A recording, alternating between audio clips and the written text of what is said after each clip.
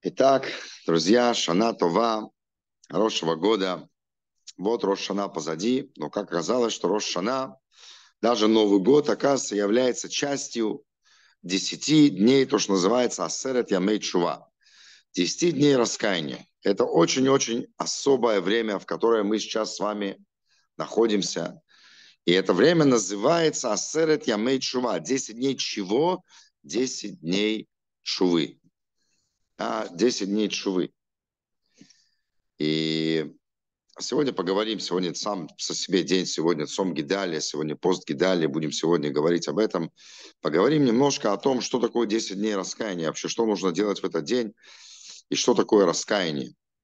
Да, вообще Тора учит нас, что раскаяние это было что-то, что было сотворено до мира – то есть еще до мира. А что это значит все? Это значит, что на самом деле наш мир просто не может существовать без такой, да, без того, что была бы чува. Так человек так устроен, что он не может не ошибиться. Он так или иначе где-то, да, совершит то, что называется грех. То, что называется хет, грех. А люди очень не любят говорить о грехах, вы знаете, да, причем вне зависимости да, там, от возраста. Человек им говорит, начинаешь говорить с ним про грех, да, человеку неприятно, грех, да, на себя посмотри, да. Что грех? Люди как думают, что я никого не убиваю, никого не граблю? Почему, почему сразу грех? Ничего плохого я не делаю, я вообще хороший. Да, всем стараюсь помогать. Но на самом деле не надо ежиться, не надо а, как мы сейчас объясним, на самом деле понятие греха – это правда. Один раввин какой-то да, начал э, давать э, перед студентами речь и начал сразу грех, вот грех, вот грешить не надо.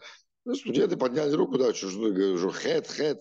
Хэт, говорит, это восьмая буква алфавита, говорит, на иврите, говорит, не знаем мы ничего такого. И действительно, понятие греха а, слово хет от слова леахти. Послушайте, да, все тайны находятся в, да, в самом языке. Леахти от слова промахнуться. Промахнуться. То есть грех – это значит, ты куда-то целился, но отклонившись от цели, да, цели не достиг, промахнулся.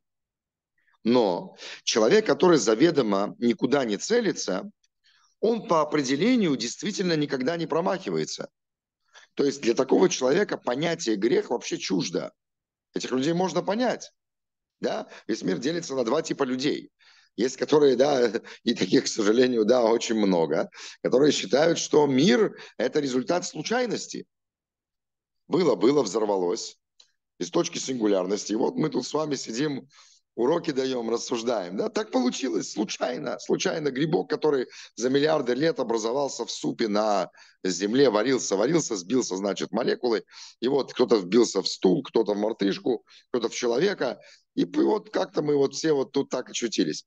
Если действительно рассуждать таким образом, то случайное по определению не имеет цели.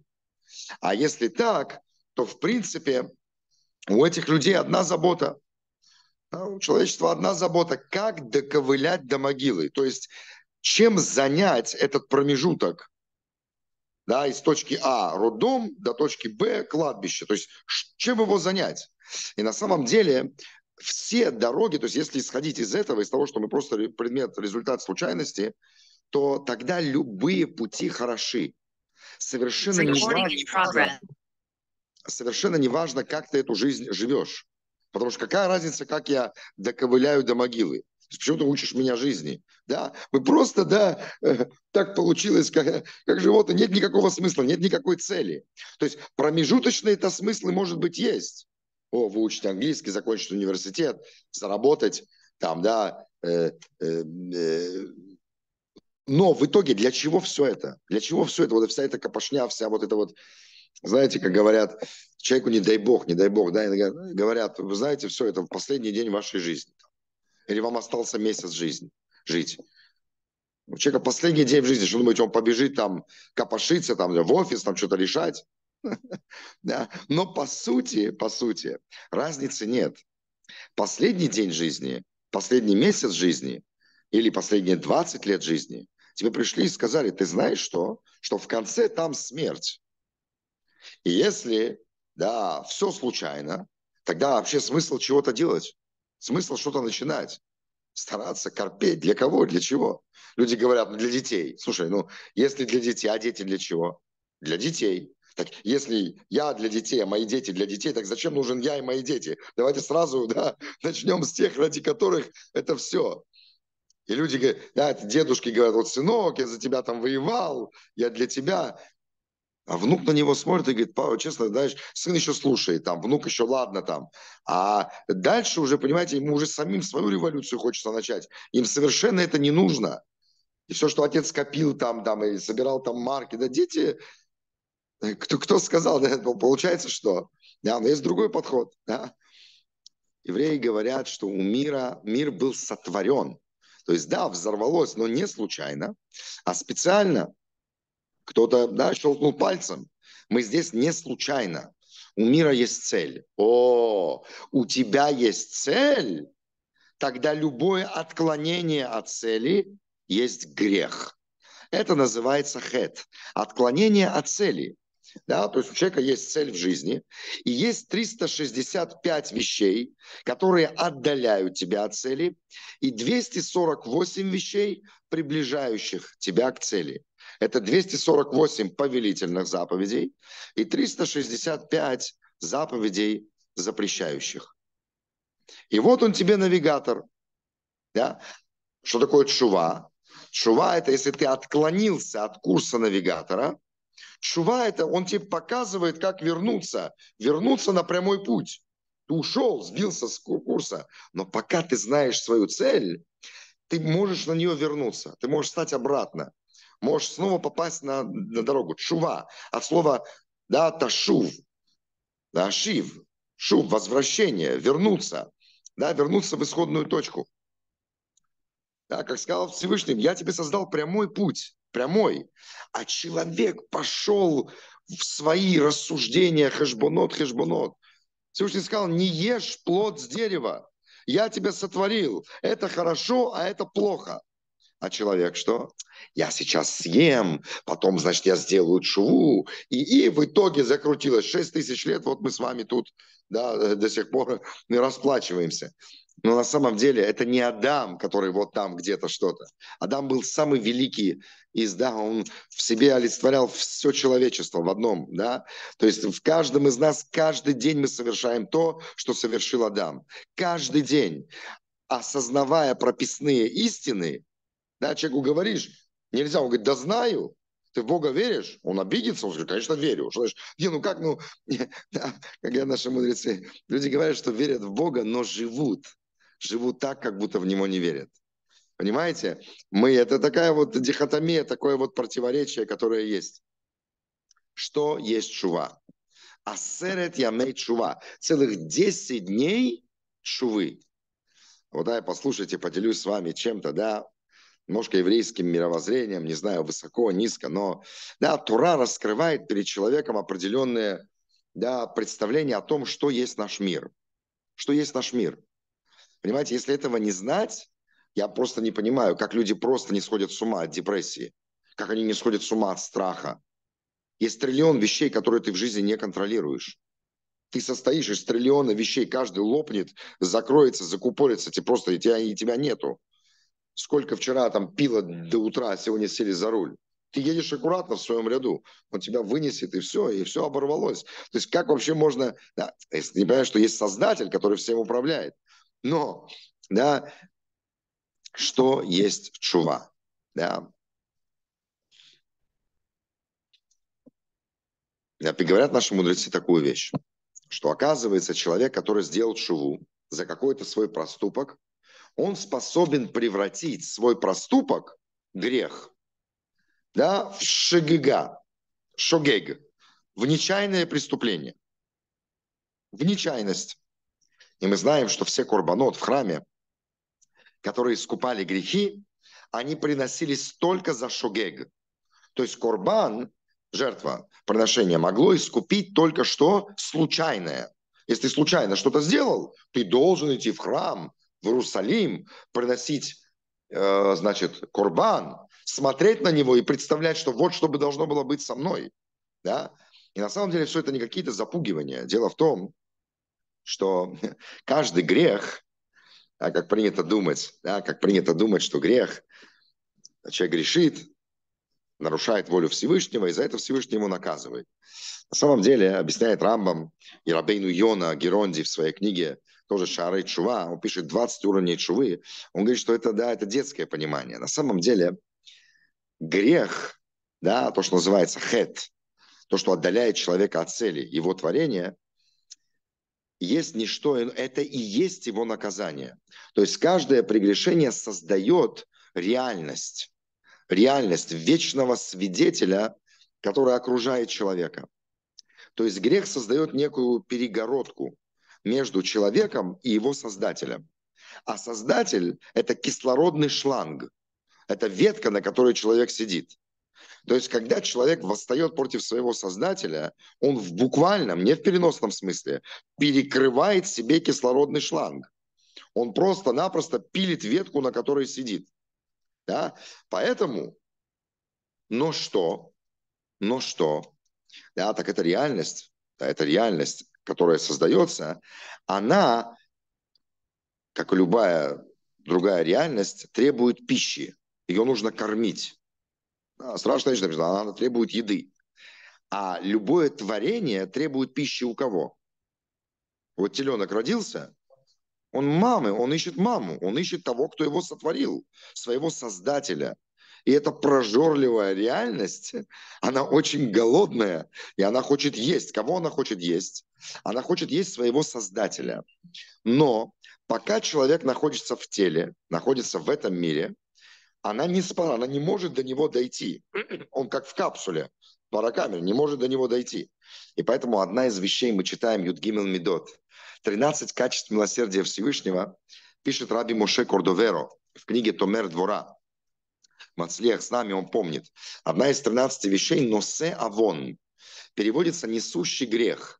Э, переводится как терпеливый. То есть Всевышний терпит. Да, он несет, он как бы терпит твои грехи, ждет, пока ты сделаешь шуву. Но говорит Рамашикова, переводи дословно, но се авон. Всевышний несет, он кормит эту реальность, чтобы она на человека не накинулась, Всевышний как бы ее несет, да, давая человеку возможность сделать шуву, возвратиться. И тут готовьтесь. Здесь, здесь бомба, да.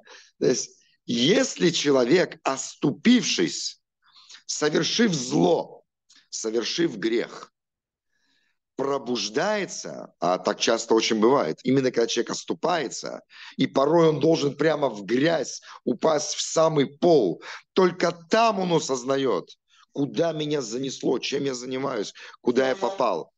И он делает шуву, тогда внимание, тогда то, что он сделал зло, злом не является. Ведь в итоге, благодаря этому, он одумался, одумался и исправился.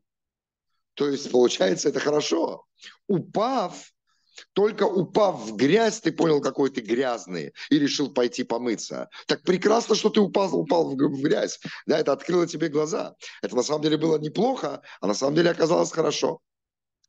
Но, но, да, само понятие чувы для нас непостижимо, потому что в нашем мире мы как живем, да, есть такой тоже древний мидраж, да, в нашем мире а, содеянное невозможно исправить. Ты разбил вазу. Ой, мне так жаль, мне очень жаль. Тебе очень жаль. Человека не вернуть. Вазу не склеить. Да? Или если склеить, видно, что она разбитая была. То есть нельзя, нельзя это вернуть. Говорит Всевышний, чува помогает. Делай чуву. Делай чуву. Да, делать шиву постоянно, но есть 10 особенных дней, включая Рошашана, того уже меньше, да, у нас 7 дней реально, то есть минус Рошашана и Йом-Кипур, того 7 дней, когда Всевышний принимает шуву мгновенно. Но, как сейчас будем говорить, шува, а? 10 минус 3, два дня Рошашана и один день Йом-Кипур. Сегодня уже Асарат Ямит Шува, Цом Гидаль, да? Друзья, что мы говорили? Я считал дни. Да, семь дней. Семь дней чувы. Чува. А, непонятно. В нашем мире мы не можем понять, как можно, как можно изменить содеянное. Но Смотрите, какая-то, просто послушайте это вообще. Да, просто мы должны знать, мы должны понимать, как это работает, и тогда, возможно, нам будет легче понять, как это вообще делать. Да? Первое, надо знать, шува – это не что-то эфемерное. Раскаяние, что такое? Раскаяние – это очень конкретная вещь. Да, она состоит из пяти этапов, сейчас будем говорить. Четких вещей, то есть надо знать, это подарок Всевышнего. И сам факт, что человек не делает шуву, является тягчайшим грехом. Это да, Всевышний кормит, он сдерживает эту ряд. То есть ты накопил, ты столько наворотил, да, разрушал, это просто готово мрак. До тебя ты оградил себя таким мраком. Все, как только тело сойдет, ты просто окажешься, да, страшно, да. И это не наказание, ты сам породил это. Человек создатель, да, змей Нахаш не обманула дама. Он сказал Хаве, съешь, и ты будешь как творец, сможешь творить миры. Он сказал правду. Хм, человек действительно творит миры своими поступками. Фантазии, воображении, да? да? И эти миры, которые он творит своим выбором, да, в итоге с этим ему придется жить. Каждый день мы творим себе вечность, в которой будем да, пребывать. Шува – это подарок из всех подарков. Просто, мне не знаю, нельзя начинать говорить на какие-то такие темы, потому что я, мы уже до Аллахи не дойдем, будем говорить только про это. Ну ладно, я постараюсь, да, э, заставлю сейчас себя остановиться, но просто идея, что такое чува, как работает чува. Представьте себе два человека. Один рубит дрова и второй рубит дрова в параллельных мирах. Один рубит дрова, замахнулся топором, топорище слетело с деревяшки, не думал, не гадал, нечаянно убил товарища. Второй, тоже с этим же товарищем, параллельно рубит дрова. Они что-то там начали выяснять, слово за словом, подрались, взял, хладнокровно зарубил товарища. Теперь скажите, в чем разница между первой и второй ситуацией? Вот только с одной стороны, как бы и там, и там, и там есть убитый, убитый топором, но разница ключевая, принципиальная да, вот мне подсказывают здесь, умысел, умысел. В первый раз это было случайно, а значит, нету состава преступления. Когда человека будут судить, состава преступления нет. Он не признает. Так вышло, окей, будет его там разбираться, но преступления не было умысла. Вторая ситуация, о, если это убийца, это убийство, это статья, это будет судить его как убийцу. Земля и небо совершенно разные вещи. То есть что мы видим? Что умысел играет огромную-огромную роль. Так, представим себе, возьмем себе самый крайний случай. Убийство, то же самое. Все, разбитая ваза, нельзя ничего вернуть. Нет человека. И вот проходит 10 лет, и человек такой, ну, сделаю-ка я шуву. И говорит Тора, шува помогает. Шува помогает. Каким образом? Дело в том, друзья, что надо знать что любой наш поступок начинается с желания. Мысль, желание. И потом это перерастает в действие. А природа желания, откуда берутся желания, откуда берутся мысли в голове? Откуда? Откуда они берутся? Это явно не из этого мира, да? А из какого мира? Да? Из мира духовного, там, где желание. А там в мире духовном, там есть понятие времени? Там нет понятия времени, нет понятия пространства. А значит, ты – это всегда ты. Да? Ты – это… То есть пока ты 10 лет спустя по-прежнему не сделал шуву за то, что убил того человека, ты убиваешь его постоянно, каждое мгновение. Это реальность прошлого существует. Но как только ты в настоящем совершил искреннюю шуву, ты удалил рацион, ты больше не такой, ты больше такого не способен сделать, у тебя больше нет этого желания, да, ты его искоренил, а значит, ты, ты, это же по-прежнему ты, значит, вернемся 10 лет назад, то, что ты сделал, ты сделал, но без желания, без умысла. Это то, что говорят мудрецы, что шува мейера, это низкий уровень шувы, который способен прекратить, превратить прегрешение в шагига, в шогег, в нечаянность. Вы слышите, как это становится нечаянностью? То есть то, что было, было, человек убит. Но это уже случайно. Как случайно? Да, ты сам, 54 ножевых, да, и все, все, все разы случайно, да. Может быть. Если сегодня ты искоренил себе это намерение, это желание, то желания не было. А как же вы скажете, ну, чека не вернуть? Вот еще более глубокая идея, которую тоже мы должны так важно ее понять. Это так важно. В этом мире, друзья, человек ничего сделать не может. Ничего не может. Никого ты убить не можешь. Ничего ты сделать не можешь, если на то нету воли Создателя. Это его мир, он управляет миром. А знаешь, что единственное ты можешь желать? Твое желание. Чего ты желаешь? Поэтому желания у тебя этого больше нет. А человека, ну человеку значит, ну да, человек должен был умереть. Он должен был умереть. И у человека в руках над каждым триллионы ниточек каждой нашей клетки, которая неправильно будет работать, это мгновенно приводит к смерти. И триллион вещей вокруг нас, которые могут случиться, и человека тоже нету. Но что? Ты выбрал, ты, же, ты стал палкой в руках Всевышнего. Да? Получается, человек, совершивший чуву, действительно способен превратить любое свое преступление, да, как бы отвратиться от него – сказать, это больше не я. Это не я. Да? Потому что я сейчас на такое не способен. А раз так, то я это какой я сейчас. Вот теперь внимание. Очень важно. Работает урок, надо прослушивать несколько раз. Если будет возможно, перед Йом Кипуром просто прослушивать, что такое чува.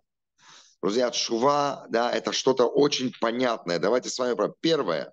Чува состоит из пяти этапов. Первое – это осознание греха. Знаете, человек говорит, ты грешен. Человек говорит, что я грешен? Я не грешен. Это, понимаете, это уже само по себе как бы, да, если человек не видит проблему, психолог, люди приходят, там у них проблемы семейные. Самое главное, что должен сделать психолог, они должны признать проблему. То нет, у нас все нормально. Пока он не объяснит, ну как нормально, если она недовольна, она плачет три раза в день значит, не норм... нет, все нормально.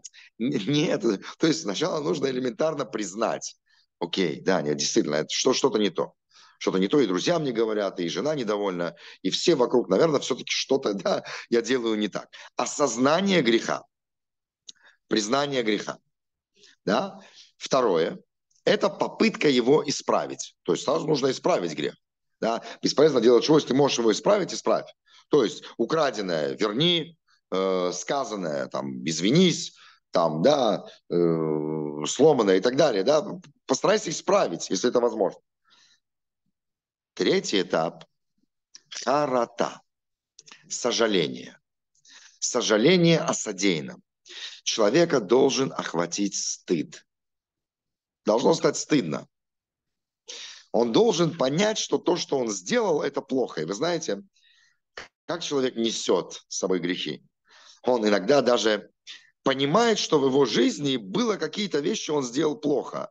Но он думает, ну, что, классно, зато было, да, есть что вспомнить, ай-яй-яй. То есть надо не просто стучать в сердце, надо как-то это вспомнить и об этом сильно пожалеть, иначе это не стирается. Рабейну Йона пишет 20 уровней, один из них стыд. Я слышал очень красивое, да, эм, лайфхак, как можно этого добиться. Работая написано, мы вчера говорили, «А, Мехалель эчем шамаем бесетер нифраим имену бегалуй. Что тот, кто оскверняет имя Всевышнего сокрыто, скрытно, в итоге взыщут с него открыто. Что это значит? Представьте себе, что то, что вы делали, там что-то совершили, вдруг станет известным. И все ваши, там, не знаю, я уже не говорю там, друзья, ваши раввины, наставники, ваши родители, близкие, они все смотрят это и видят, и какой позор охватит человека. Именно так и происходит на суде. Еще хуже, да, Всевышний понимает, что это все видно. Нельзя зажмуриться. Там Да, некуда. Это Адам после греха нашел место за кустиком, начал прятаться от Всевышнего. То есть, когда приходит в голову идея, что от Всевышнего можно спрятаться, она пришла к нему в голову только после греха. Что он есть там, где он не видит. Люди выбрали Немрода. Они хотели человеческого царя, не хотели Бога. Они хотели царя человека. Почему? Потому что человеческий царь, как бы он есть, но он не вездесущий, не все знающий, не все видящий. Он как бы, окей, он есть, но есть вещи, я у себя дома делаю, царь об этом не знает. А вот этот Бог, который все видит, все знает, это очень неудобный царь. Это прям очень неудобный царь. Да, он везде проникает. Но именно так да, Всевышний все видит. Харата. Человек должен представить, что бы он почувствовал, если бы все его грехи раскрыли наизнанку, постучали бы по столу, собрали бы всю общину, все, кто его знают, друзья, всех, перед кем он хочет, и вот начали показывать перед ними о, какой бы стыд обуял человека. Это, кстати, очень помогает. Во время Йом-Кипура именно так представлять свои поступки. И тогда, тогда действительно как бы ты в корне их сожжешь. Ребята, надо использовать шуву. То есть это безумцем надо быть, чтобы не пользоваться этим подарком. Древний-древний Мидраж говорит, да, такими словами древними, но суть та же, что было три узника, сидели в тюрьме, и вдруг обвалилась стена. Двое убежали, а один остался. Пришел, значит, э, там этот, э, кто там, царь, там, тюремщик, увидел и отлупил этого третьего, говорит, глупец, говорит, ты мог бежать, почему ты не сбежал? Всевышний говорит, я держу это все, даю тебе время. Для чего? Одумайся. Я одну пощечину тебе, и здесь тебе намекнул, и тут тебе намекнул. Хочу тебя вернуть. Ты понимаешь, что тебя ждет? Человек не понимает. Он не пользуется чем? Подарком. В Торе мы читаем, недалека она от тебя, чтобы сказать, за морем она. Одно объяснение Тора, второе объяснение пишет Рамбан. Речь идет про Чуву. Ребята, у нас даже нету исповеди там перед кем-то. Да? Шува это один, закрылся где-то, но только, да, перед Всевышним. Сам, наедине, и сделал шуву. Итак, третий этап. Первое – признать. Второе – исправить. Третье пожалеть об этом, пожалеть об этом, устыдиться этого. Как я мог, как я мог против тебя восстать, Творец, после всего, что ты для меня сделал? Как ты меня лелеял, на руках носил, все мне давал, а я просто ежедневно, зная, что нельзя, продолжал это делать. Четвертое. Четвертое – это исповедь. Вот тут бомба, да? Исповедь, оказывается, нужно это сказать вслух. Не нужно, да, там, да, через решеточку кому-то это говорить. Не-не-не, это... Но в Бога веришь, есть Всевышний, Всевышний слышит. Надо это сказать. То есть надо уединиться и сказать это. Надо это произнести. Рама пишет, что это неотъемлемая часть шувы. Да? То есть не просто в сердце, а сказать это. Сказать очень коротко, говорит вам, да, то есть первое, Всевышний грешный я перед тобой вот таким-то, таким-то грехом. Как мне безумно стыдно, что я это сделал. Да? И ты уже это говоришь. То есть, когда ты это говоришь, это и есть составляющая чувы. Необходимо это сказать наедине, сам собой, но произнести. И последнее, пятое, это кабала леатид. Это принять на будущее. Принять на будущее, что впредь Всевышний, я тебя не подведу я тебя не подведу, я больше такого делать не буду. Я теперь понимаю, да, я своей взрослой головой смотрю, чем я думал, да, неважно, головой, ситуацией, сердцем, я другой. Ашем, я-то, я все, я на это больше не пойду, я на это не способен. И тут все сразу спрашивают, а ладно, а когда можно подумать, а если ты сделаешь еще раз? Если, оставьте Всевышнему, да, если тоже пишет Рамбам, потому что, на самом деле, шива закрепляется тогда, когда ты попадешь в эту же ситуацию, этого не сделаешь. Но обычно человек понимает, когда он это имеет в виду, да, человек решил, что он больше не будет это есть, он не будет это больше есть. Все, он, я могу жить без этого. Да, все, не могу, буду... О, принятие на будущее. Это, работай, называется чува. То есть это не что-то эфемерное, да, вот мы стоим, почему так долго, стучать себя в грудь. Не стучать в грудь надо, да, это мешок взбивать, чтобы больше туда влезло, да, как шутят. А на самом деле после каждого греха вот этот удар, задуматься, так, секундочку, ну, действительно, было же, было, да, за грехи, которые мы совершали ногами, да, куда я ходил, в какие места я ходил, куда не стоит ходить. Да? О, отлично, давай вспоминать. Уже, ой, как стыдно, зачем я туда пошел? Какие люди смешные, да, они идут куда-то, ставят себя в какую-то ситуацию, а потом удивляются, почему они что-то сделали. То есть, да, на самом деле это, это как дважды два. Человек очень-очень сильно подвержен да, воздействию окружающей среды. Поэтому человек куда-то себя ведет ногами. Понятное дело, что это на него отразится. И даже если там он выдержит, он это с собой все заберет. В ушах, в голове, в памяти. И придет туда еще раз. И в итоге это его, да, да то есть надо понимать, как он вспоминает все это, сразу сожалеет об этом, говорит об этом, он только что сказал это в Тахануне, и принял на себя, что больше так не буду. А вот теперь сделайте это так, и посмотрите, какая у вас будет длинная молитва в Йом-Кипур. То есть именно так должна быть чува. Это называется чува. И на самом деле мудрец, истинный человек, который познал реальность, понял вообще жизнь с конца на начало. Обратите, не с начала до конца. Он посмотрел на свою жизнь не, не как ребенок, то, что я вижу перед носом, а вообще чем мне рыпаться? Что все эти люди суетятся, я не могу понять. Э, кто-то мне говорил, да, пример такой вот. Вот представьте себе, вы видите огромный корабль, люди, матросы грузят туда какие-то тюки, люди бегают, кто-то плачет, кто-то машет, значит, э, прощается. Движение просто жизнь кипит нереально. Тысячи, тысячи, тысячи людей на причале, на корабле. И тут, знаете, так медленно камера так опускается, и ты видишь написано «Титаник». И сразу что? Вот они так суетятся, как, знаете, как защемило в груди. Бедные, бедные. Чего они суетятся? Что они? Они же, они умрут. Скоро они все замерзнут в этой воде. Да, да. Если, да, получается, все суета. Да? Поэтому на жизнь нужно смотреть с конца, э, с, нач... с конца на начало. То есть, секундочку, если я в итоге умру, да, так для чего я живу? Что-то строю, что-то делаю, да. Кому все это, да? Ну, хорошо, там, если, да, если дети, дети еще идут твоим путем, им все то, что ты, да, взрастил, им для них важно, окей, можно как-то, да, себя успокаивать. Но по сути, ты, ты для чего? А что бы делать бедным людям, у которых не, не может быть детей? Или, знаете, они уже взрослые, дети состоялись, ему, ему уже все не, не нужны. Все, смысла нету, давай. Э, жизнь бессмысленна. Друзья, это то, о чем мы должны задумываться. И человек-мудрец, который действительно взглянет трезво на свою жизнь, соберет все свои знания, все, что он когда-либо видел, учил, слышал, да, вдумается глубоко-глубоко глубоко он поймет, что нету в жизни большей ценности, чем чува. Всевышний подарил удивительный инструмент переосмысления. То есть ты – это кто ты есть сейчас.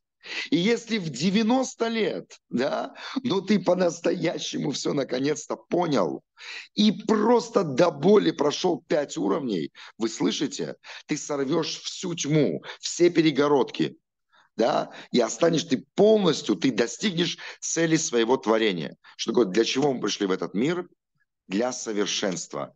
Мы должны, то есть это завод, это завод, весь наш мир это декорации, большой завод, да, ты такой маленький камень, неограненный алмаз, который нужно огранить. И мастер тебя всякими испытаниями ведет тебя твоим путем, идеально, чтобы тебя огранить, да, чтобы ты получился такой красивый, да, много у тебя было сторон, таким драгоценным камнем. Стремиться к совершенству, да, и нет предела своего. Вот стремиться максимально достигать совершенства. Чува в этом отношении это просто не, это, это невозможно даже передать. Да, что есть чува. Поэтому нужно запомнить пять этапов, да, запомнить, как это делается. Заниматься, что называется, хэшбон нефеш. Это одна из неотъемлемых частей. Человек должен быть осознанным. Вообще, по идее, самый, самый мудрый человек, он делает три раза в день, читает Таханун и перед сном, он делает хэшбон, он вспоминает, он вспоминает. Ты не можешь, ты должен каждый момент своей жизни анализировать. Да, сегодня надо мной посмеялись. Я что-то сказал, и мне так ответили. А давай-ка я вспомню, а почему, почему это... Да, обдумывать, обдумывать. И тогда ты обязательно попадешь в эту ситуацию еще раз. Только каким надо быть глупцом, чтобы в одни и те же грабли наступать. А люди такие. То есть, да, В чем сложность? В чем как бы, да, сложность, да, твунот, пишет Рамхаль. Сложность в том, что есть зло, результаты которого мы чувствуем мгновенно. Как розетка. Сунул пальцы в розетку, тебя током ударило, ты больше так делать не будешь. Да? Зло. Разбил там витрину магазина, тебя там прибежали, отлупили, посадили, отсидел там, понял, что так больше делать не буду. Но все не так просто. Да? Оказывается, да, есть зло, результаты которого сразу не видны. Но это зло. Это зло. И точно так же, как ребенок, которому мама запрещает есть много сладкого, дожидается, пока мама ушла, а потом съедает все, вспоминает, что мама сказала, бежит к зеркалу, смотрит, зубы нормально. И он не может понять, что, что за обман.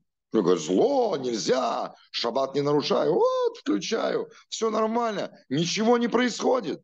Где? Где зло? Мама меня обманула, сама хотела съесть торт. Но когда через полгода мальчик корчится от боли на, э, у дантиста, тот ему делает он, ребенок, он не в состоянии сопоставить эти два факта. Он не понимает, что причина, по которой сейчас у него кариес, он испытывает такую боль, началась тогда, шесть месяцев назад, когда он стал переедать сладкое. Да? Или там попробовал что-то, что, что не надо было пробовать.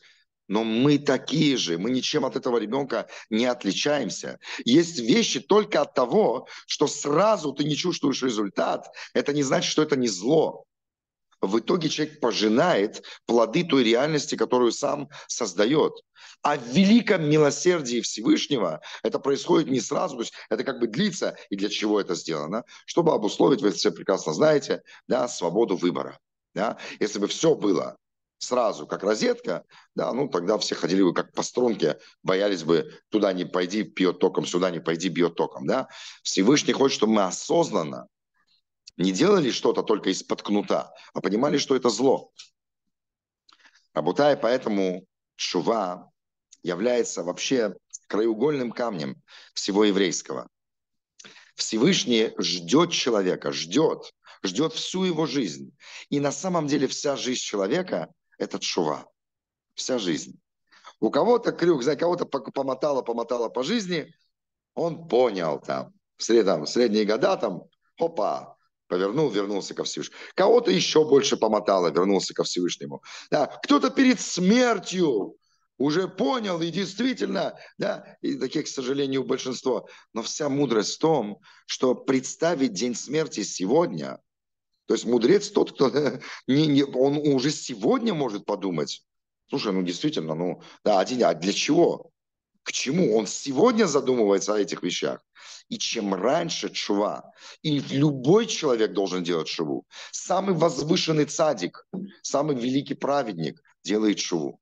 Всегда есть над чем работать, всегда есть куда вернуться. Всевышний хочет, чтобы мы вернулись, вернулись в состояние изначальное да, Адама до грехопадения, когда было совершенно очевидно и понятно, да, простая вещь, что есть Творец его творение должно стремиться только лишь к близости к своему Создателю.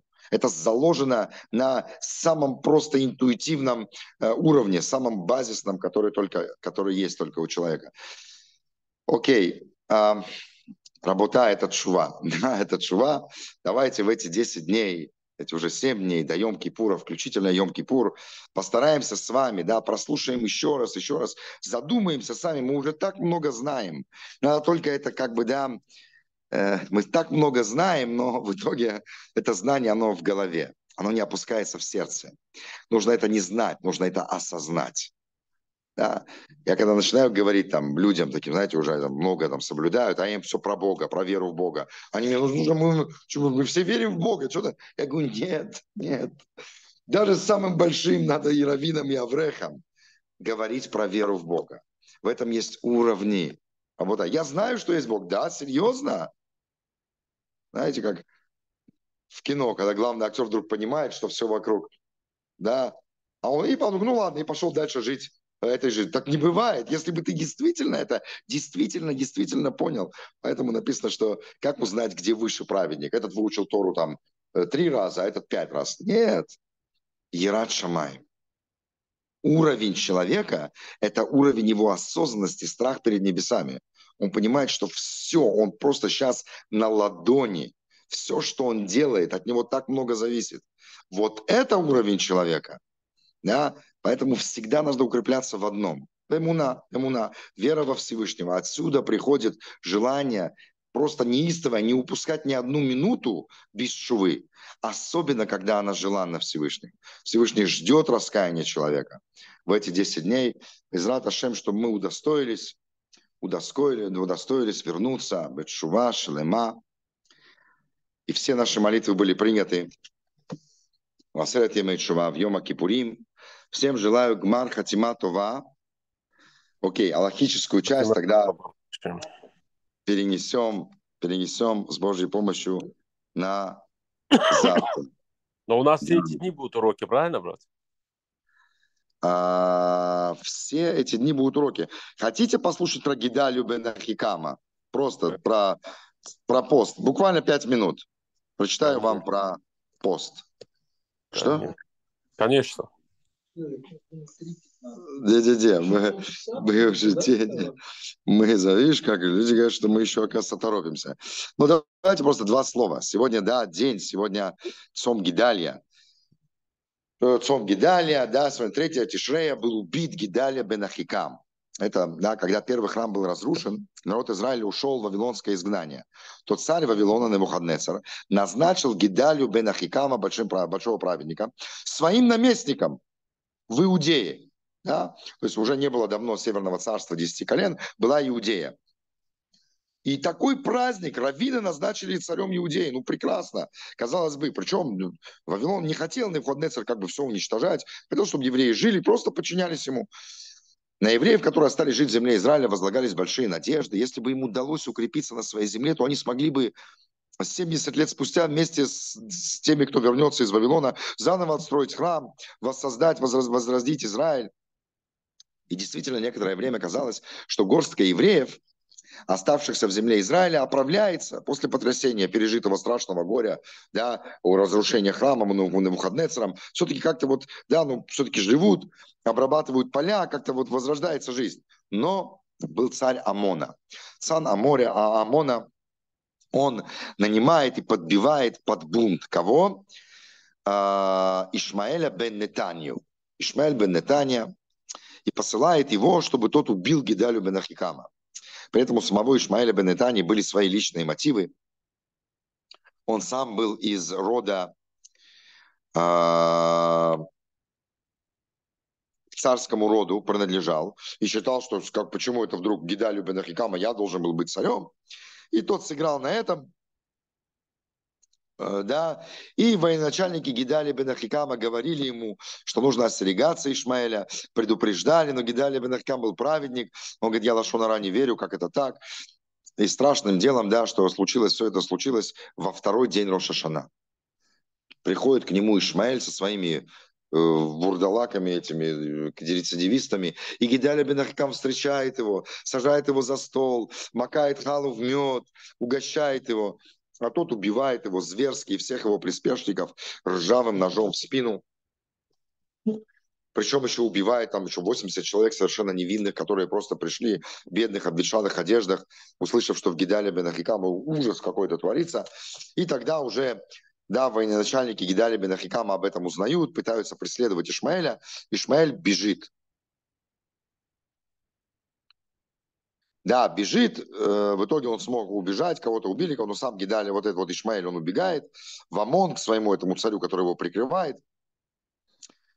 И тут наступил ужас. Евреи поняли, что наместника Невуходнецера убили, Сами же евреи, никто же не будет разбираться сейчас, кто это был там, э, оппозиция, не оппозиция. Еврей Ишмаэль бен Нетанья убил. Ну все, а раз так, все евреи очень жутко перепугались, что теперь будет какое-то просто тотальное истребление всего еврейского населения в Израиле. Однако точно неизвестно, когда, здесь написано, был убит Гидаль Минахикам, да, написано 3 Тишрея, я вам сказал, что это было во второй день Роша Шана. А так как нельзя праздновать, э, нельзя э, поститься в Рошана, так перенесли день на третье. Но видите, он здесь приводит да, э, Талмуд Ярушалми, что Гидалия все-таки был пер, первого тишрея. Не знаю, я учил, что второго тишрея. Но поскольку в этот день, да, мы не празднуем, то перенесли на третье. Как бы там ни было. Наши мудрецы сказали также, что, да, да, из того, что пророки установили пост в день убийства Гидалии, мы учим, что смерть праведника равноценна сожжению храма. Да, тоже интересно, да? Мы постим, значит, четыре поста. И все эти четыре поста, они по храму. Первый храм разрушен, да, 17 Тамуза, э, стены по Иерусалима, 9 Ава, храм разрушен, 10 это в это, осада Иерусалима.